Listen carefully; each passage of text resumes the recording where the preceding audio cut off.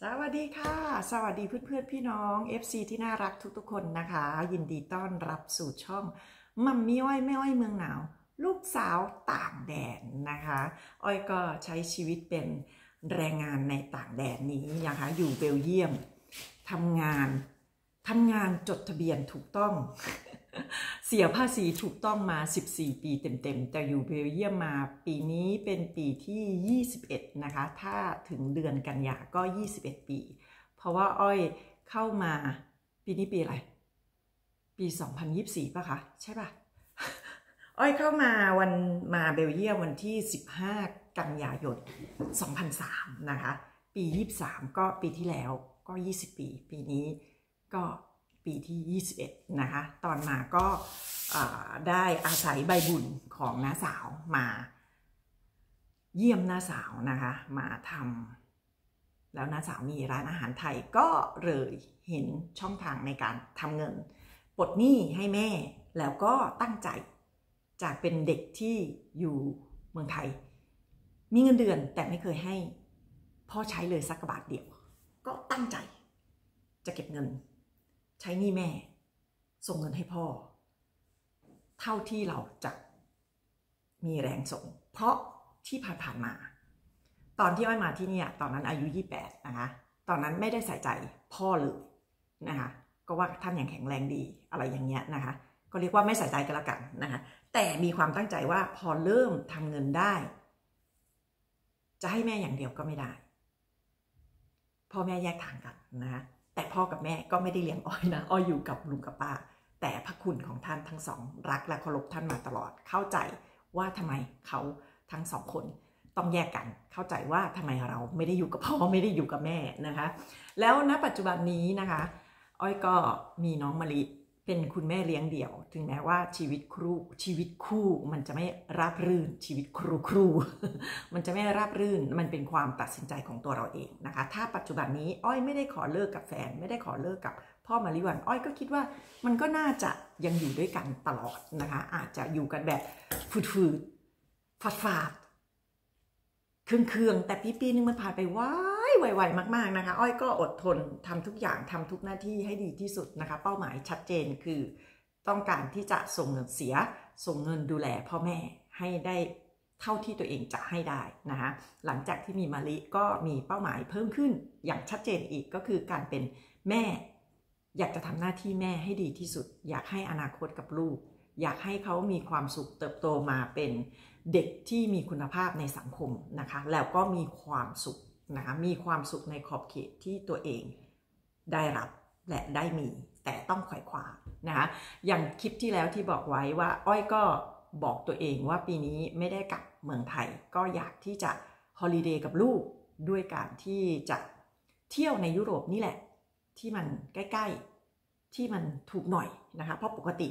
ปีนี้ถ้าซื้อเฉพาะตั๋วเครื่องบินไปเมืองไทย มันก็ตกประมาณพันสี่ละต่อคนนะคะ เฉพาะตั๋วเครื่องบินอย่างเดียวนะคะ แล้วค่าใช้จ่ายอื่นๆอีกละแล้วปีนี้เพิ่งจะย้ายบ้าน ค่าใช้จ่ายอ้อยก็เยอะ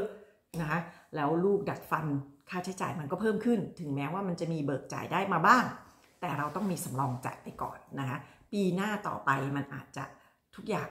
ก็อาจจะเข้าที่เข้าทาง ถ้าอ้อยยังอยู่ที่นี่อยู่ แต่พยายามบอกตัวเองว่า ถ้าไม่มีเหตุการณ์ร้ายแรงอะไรเกิดขึ้น ก็จะอยู่อย่างสงบ จะจ่ายค่าเช่าอย่างถูกต้องนะคะการเป็นแรงงานต่างแดนก็โชคดีตรงที่อ้อยนะคะได้เงินพิเศษเพิ่มขึ้นจากการเป็นแรงแรงงานนะคะจดทะเบียนถูกต้องเสียภาษีถูกต้องอเดือนที่ 6 ก็จะได้เป็นเงิน holiday เพราะว่าบ้านนี้เขา holiday กันช่วงหน้าร้อนและหน้าร้อนบ้านนี้ก็คือช่วงกรกฎาและสิงหาโรงเรียนปิด เทอม summerหน้าร้อน 2 เดือนนะคะอ้อยก็จะได้เงินจากการที่เราเป็นแรงงานต่างแดน จดทะเบียนถูกต้องทุกอย่างทำงานมานะคะอ้อยคิดว่าตัวอ้อยเองปีแรกไม่ได้เลยนะคะ เพราะว่าจดทะเบียนจากศูนย์วันที่ศูนย์วันที่ศูนย์เริ่มวันที่หนึ่งเขาก็จะนับทำงานได้หนึ่งปีก็จะได้สิทธิคือพอเริ่มเสียภาษีปีแรกปั๊บก็ได้สิทธิ์ตรงนี้นะคะ ก็คือเงินฮอลิ เงินฮอลิเดย์ได้มาจากไหน อ้อยก็ไม่ทราบนะเพื่อนๆบอกตรงๆ รู้อย่างเดียวว่า เราจดทะเบียนถูกต้องเราเป็นแรงงาน เราได้เงินก้อนนี้เดือนที่ 6 ของอการทำงานก็คือเดือนมิถุนานะคะก็คืออ้อยคิดว่าเป็น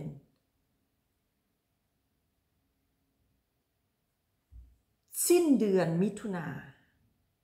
ต้นเดือนกรกฎาอ้อยได้เงิน ประมาณนั้น เพราะว่าที่ทำงานอ้อยนะคะเงินเดือนจะออกประมาณช้าสุด 24นะคะประมาณช้าสุด 24 ตั้งแต่ 22 23 24 ประมาณเนี้ยเงินเดือนจะเข้าแล้วแล้วเงินเดือนที่จะเข้าก็คือประมาณ 22 23 24 มิถุนาก็จะเข้า เป็นก้อนใหญ่ ไม่ใช่เงินเดือนอย่างเดียวนะคะเป็นก้อน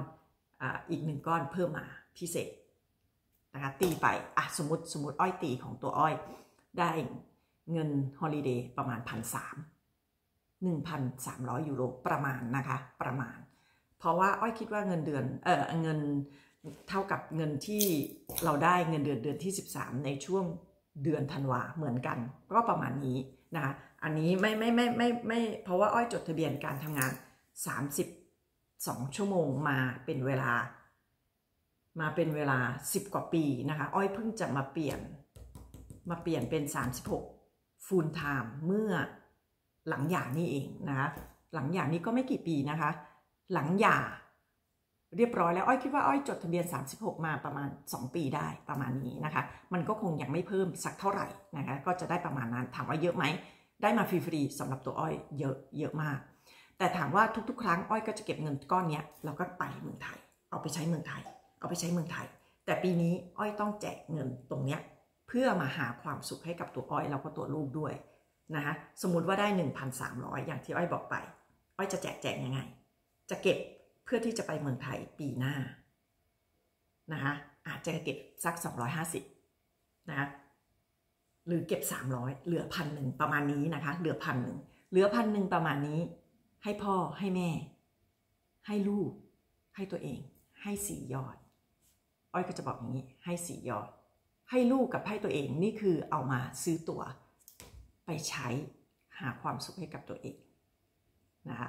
สมมติพันหนึ่งหารสี่มันจะได้เท่าไหร่ถึงหกร้อยเอ้ถึงสองร้อยไหมล่ะสองสี่หกแปดอะสองร้อยสองร้อยกว่ากว่านิดหนึ่งประมาณนี้ ก็เท่ากับว่าอ้อยก็มีเงินประมาณห้าร้อยอะสมมติว่าอ้อยห้าร้อยอ้อยกับลูก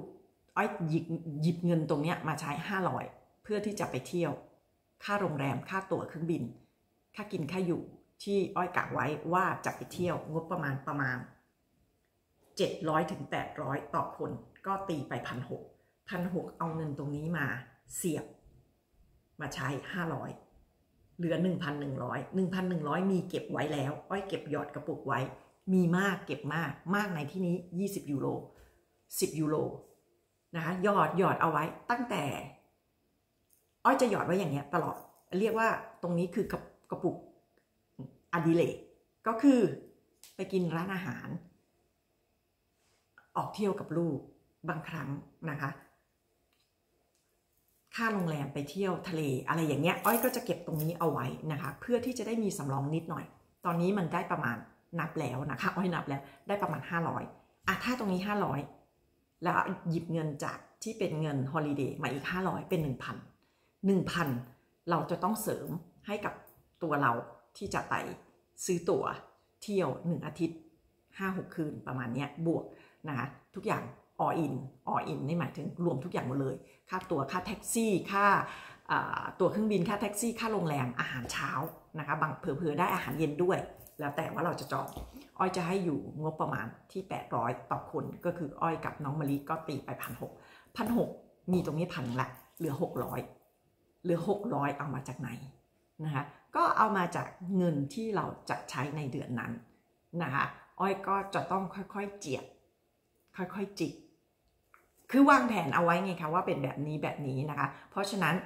อ้อยก็วางแผนเริ่มต้นมาตั้งแต่ที่คิดว่าโอเค ในเมื่อไม่ได้กลับเมืองไทย แต่ก็ยังต้องหยอดเงินที่จะสะสมไปเมืองไทยปีหน้าอีกนะคะเพื่อนๆขา เพราะว่าทุกอย่างมันแพงขึ้น แล้วมันไม่มีหรอกที่จะลดราคาลง มันมีแต่แพงขึ้นพุ่งขึ้นพุ่งขึ้นนะคะอ้อยก็ไม่รู้ว่าจะเก็บได้สักประมาณเท่าไหร่ แต่จะให้เหนียวแบบไม่ทำอะไรเลย เหนียวแบบไม่ซื้อเลย เหนียวแบบไม่ออกจากบ้านเลย เหนียวแบบไม่เติมน้ำมันลดเลย เหนียวแบบถีบจักรยานอย่างเดียว อ้อยก็ต้องดูแลสุขภาพตัวเองด้วย นะคะว่าสุขภาพเพราะเราก็เป็นคนสุขภาพไม่ดีมีโรคประจำตัวนะคะอ้อยก็ต้องทำทุกอย่างให้มันอยู่ในสายกลาง ให้มันอยู่ในขอบเขตที่เราสามารถทำได้ แล้วก็พยายามที่จะจัดเจียดเงิน ดูว่าพอไหมนะคะงบประมาณเพื่อนจะถามเลยนะคะอ้อยก็จะบอกเพื่อนๆก็จะบอกว่างบประมาณอยู่มีเท่าไหร่ อ้อยก็จะบอกประมาณขนาดนี้ แต่จะต้องไม่สูงกว่านี้ เพราะฉันมีเท่านี้เอง นะคะเราก็จะค่อยๆเก็บค่อยๆสะสมกันไปนะคะว่าจะได้ไปไหมเหลือเวลา ถ้าอ้อยก็จะเก็บไปเรื่อยๆ ถ้ายังไม่มีเงินพอที่จะซื้อก็ยังจะไม่สั่งซื้อนะคะอ้อยก็จะไม่ซื้อตัว๋ว